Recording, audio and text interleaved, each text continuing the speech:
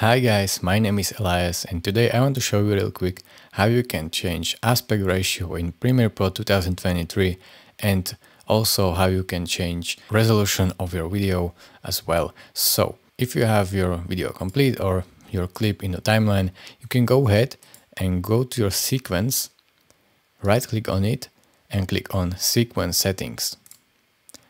This window will pop up and what you want to do is here in this video tab, you can see you have frame size. Uh, right now uh, is 1920 by 1080 and that means it's 16 by 9 aspect ratio. So let's say I want it to be 2 by 1 aspect ratio. So for example, I want that. So basically it's really easy, you just have to calculate it. If this will be 2 and this will be 1, then it's half it's half of this.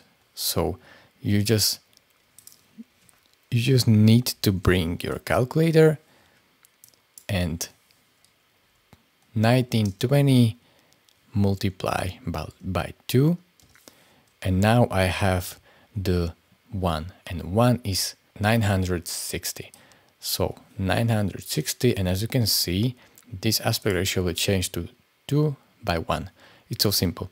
So for example I want to back 16 by 9 but I don't want to be full HD but 4K. Then what you want to do is select the 4K standard is 3840 by 2160 and as you can see the aspect ratio is back on 16 by 9.